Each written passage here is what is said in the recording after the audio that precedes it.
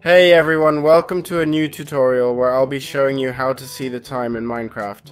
Basically, this is a tool that's a resource pack, so all we need to do is use the game mode command. I'm going to switch to creative mode so you can see the time at the bottom, but it's visible in survival mode too. As you can see, the time passes in sync with the in-game time in Minecraft.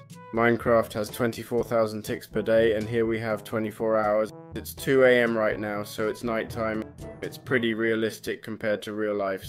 So, how can we get this feature? Well, in the description you'll find a link to something called Coordinates HUD MCB, which is for Minecraft Bedrock. When we go there, we're given various tools like coordinates and the direction we're facing, and of course, what I'm going to show you today, the time feature. So basically, we'd open the package through an Invertis link. And once we've done that, we'll enter Mediafire. Inside Mediafire, we'll find a coordinates.mcpack file, which is the one we need to download. Once we've downloaded it and have it on our computer, we'll save it and then open it. After opening it, we'll go to the settings section, then to global resources, and finally to MyPacks. Within MyPacks, we'll find the coordinates HUD. That's all for now. See you later.